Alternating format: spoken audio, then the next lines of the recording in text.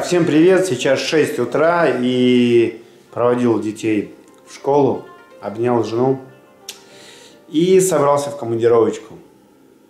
Тут надо как можно быстрее отъехать от дома, а то все-таки сердечко ёкает немножко. И, ну, не совсем так. Приятные моменты.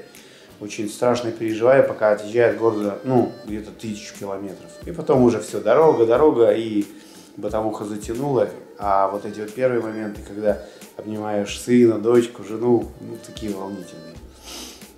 Вот. Ну, расставание это лучший повод, наверное, чтобы понять, насколько тебе важна твоя семья, насколько ты любишь. Поехали. Друзья, ну что ж, хорошие новости. У нас же ведь плохих новостей-то не бывает. Значит, хорошая новость заключается в том, что мы так сидели, подумали и решили, поедем ли-ка мы в Испанию. Как вы видите, у нас сейчас за бортом минус 10 и метет снег, хорошая зима. Еще весна к нам не пришла. А вот, и мы решили выехать, так сказать, из зимы в лето, сгонять всего-то навсего 4,5 тысячи километров прокатиться с ребятами. Это не значит, что мы бросаем Юрмальский дом. У нас случилась вот какая ситуация. То есть пошел строительный сезон и несколько командировок. То есть часть наших бойцов отправляется в Стокгольм, Швецию а мы сейчас едем в Испанию. Ну и какая-то наша часть, мы разорвались на три группы, работает, продолжает объект в Юрмале. Так что ждите репортажи из Швеции, то есть посмотрим, как работает шведская стройка, посмотрим, как работает испанская стройка, и обязательно мы закончим наш юрмальский проект. Это дом номер один в Латвии, не забываем, да? И сейчас мы вам покажем, собственно говоря, как мы будем добираться из Риги до Испании. Итак, напомню, что сегодня первый наш день, минус 10, зима, поехали! Значит, такая ситуация. Мы сейчас въезжаем в Литву. Это первое государство, которое мы посещаем. И здесь нам дают такую фигню. Она стоит 6 евро. Это проезд одного дня. То есть аренда грузовым транспортом и грузопассажирским одного дня. Есть маленький нюанс. Надо написать обязательно номер и наклеить на лобовуху. Если не будет написан номер, либо она будет наклеена на лобовуху. Мы в прошлый раз ехали, сделали ошибку, что мы просто написали номер и кинули в бардачок то штраф что-то в районе 300-500 евро. Поэтому важная фишка, не пожалейте эти 6 евро и заполните ее.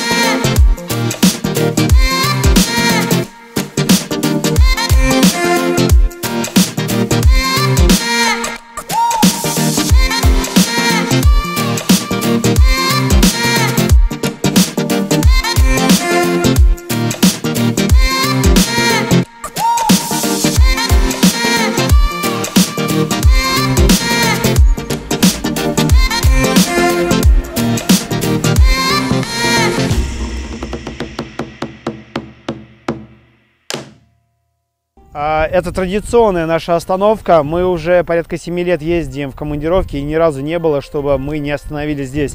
Мы берем вот такой крестик, покупаем у местной бабушки и ставим на гору крестов. Гора крестов – это долгая история наверное, нет никакого смысла здесь рассказывать, но место действительно святое, место важное. За моей спиной, вот где Матвей стоит, это Хачкар. Этот крест притащили сюда из Армении. Кресты сюда тащат со всех концов света, с Японии, с Израиля, э, с Англии, абсолютно отовсюду. То есть место такое святое, и мы в этот раз, как правило, здесь пишется на хорошую дорогу. Мы просим, как бы, чтобы у нас командировка прошла хорошо, чтобы мы до, успешно доехали, все-таки 4000 километров, и чтобы мы заработали хоть каких-то денег для того, чтобы наши семьи в конце концов были счастливы. Сейчас поднимемся, найдем свое местечко и поставим наш крест. Идем.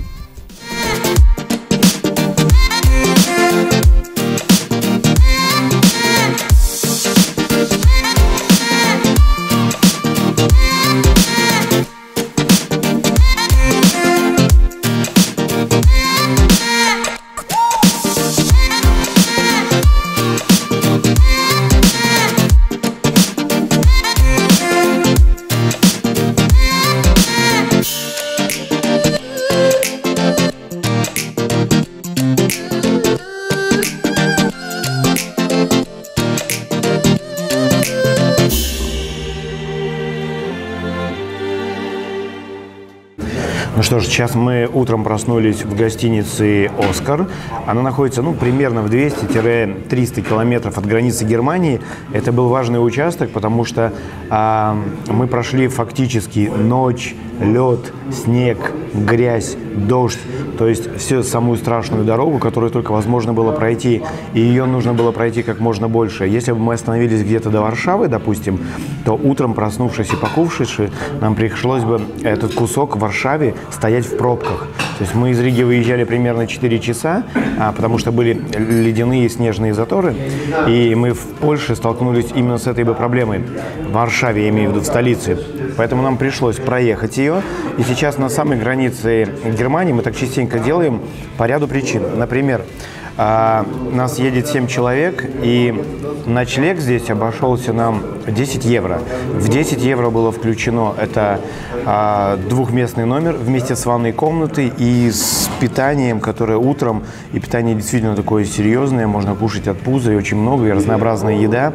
Вот, поэтому 10 евро с человека – это первая причина, почему мы здесь останавливаемся. Вторая причина – за один день мы проходим все самое страшное, что может быть, а самая страшная дорога – это Польша. И мы это место называем «дорога смерти», потому что, когда едешь по Польше, на обочинах то и дело можно видеть эти кресты, ну, как жертвы аварии. А теперь у нас ждет более-менее а, шикарная дорога, потому что мы заходим на немецкий автобан, то есть там можно уже будет давать скорость 120 и больше километров в час, а вчерашний путь у нас был 70-120, ну вот такой трудненький. Так что сейчас мы подкрепимся и двинемся в Германию. Так, ну что, я пробежал где-то, чтобы не соврать, тысячу... Сколько, 200 километров прошел? Да.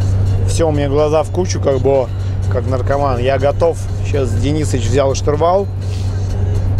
Теперь я буду больше говорить, а меньше ехать. Взял подушку и буду дрыхнуть. А вот, беда в том, что... Да не беда в том, а вышли мы нормально на автобан. И как это теперь работает? Теперь выставляешь круизер на 120 и просто фигачишь. А вокруг летают разные машины на 200, на 300, на 500, как пули. И здесь чуть глазом щелкнуть. Смотрите, какая у нас дорога, например всякие спуски, подъемы. Денис, скинь лучше. Жесть, короче, дорога. Потому что мы уже плавно входим в горы. То есть я так понимаю, что зона ГДР у нас потихонечку проходит, и мы идем немножко в Баварию, а местность гористая, поэтому вот такие у нас дорожки. И здесь неплохо было бы немножко поспать, отдохнуть, и второй водитель здесь как нельзя кстати. Ну, собственно говоря, едем.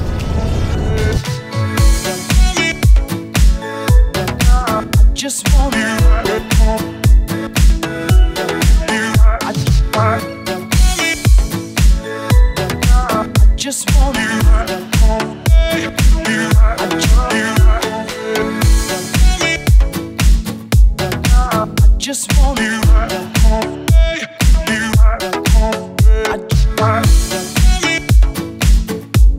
I just want you.